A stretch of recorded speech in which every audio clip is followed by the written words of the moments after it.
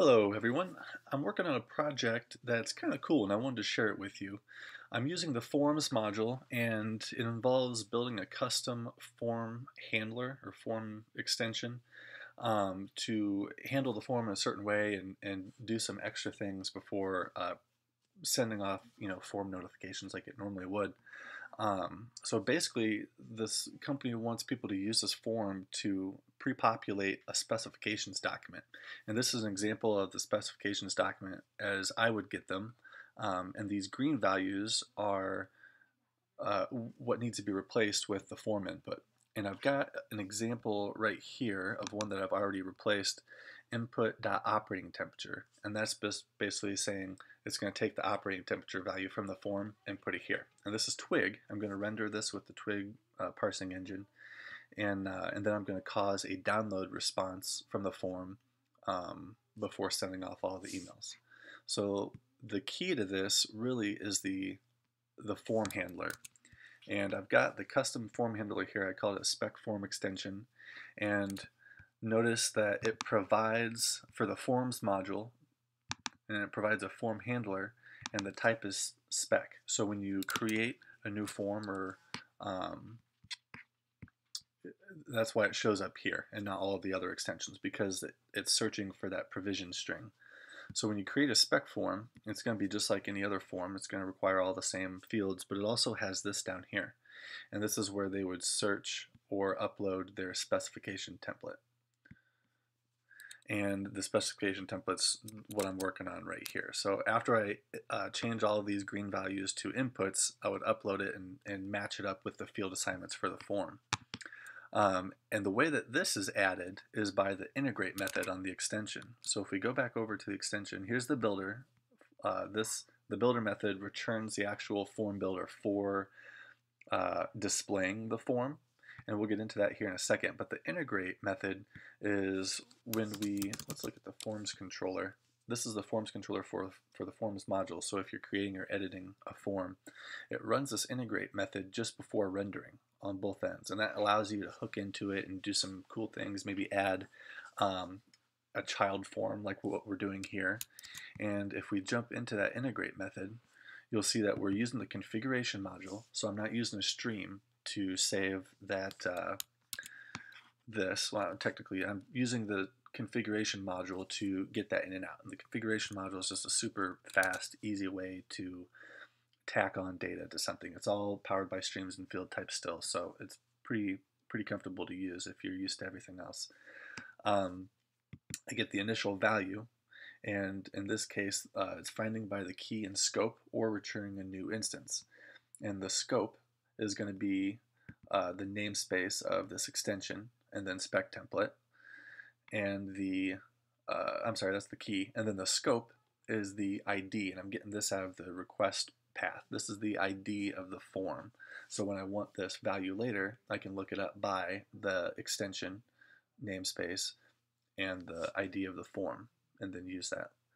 Uh, and so I'm just adding uh, the field manually here, and then I'm adding it in a section and I'm adding some saved. So after the configuration form is saved, it's setting the namespace and it's setting the ID based on the form that we're working with at the current time. So we don't have to pull it from um, the path at that point because we'll have a, a, an entry already built and available to us. So that's how I, I get that value into the system. And if we go back to uh, the builder, let's go back up here. All this is doing is returning our form builder to display on the front end, and there's some some modifications there too. So we are using our own custom form builder. Most, I think the standard form builder just uses like a, a standard from from core form builder, nothing special. All this does is disable bread, breadcrumbs. Um, and then we use callbacks to handle uh, my custom logic, the, the, the things that we need to change after the fact. So this is going to happen after notifications are sent. It's going to happen after um, the form is submitted and the entry has been saved already. So after it's saved, what we're going to do is use our configuration and the form here, the form ID, and we're going to pull that configuration value out. So we'll have the ID of the file. And then this get file is just a, a helper command to get a file instance from the files module by ID, path, uh, location, uh, namespace, whatever.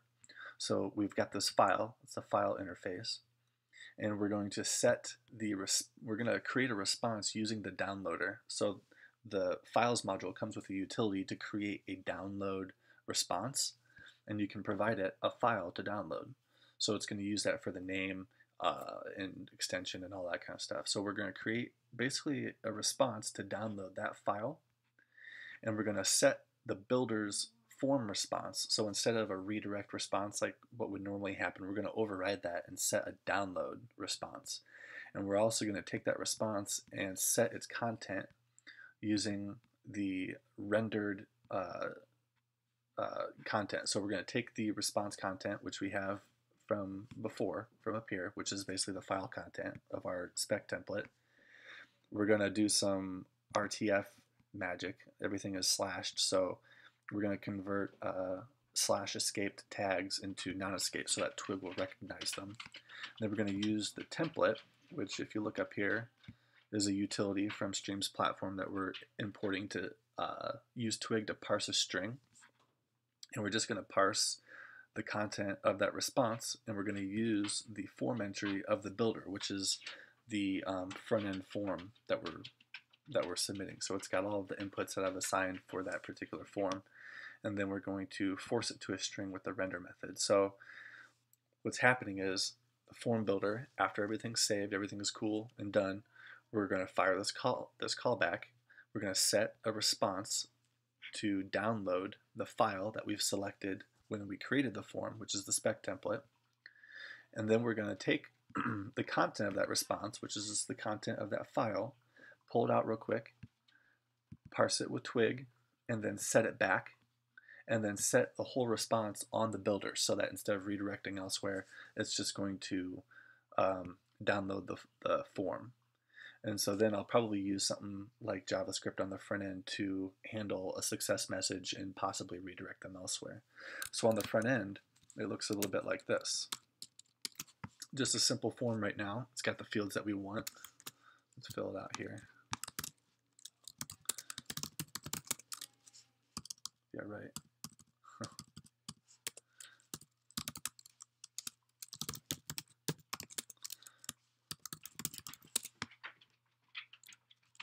Uh, let's just use some whatever values. Mm, special requirements.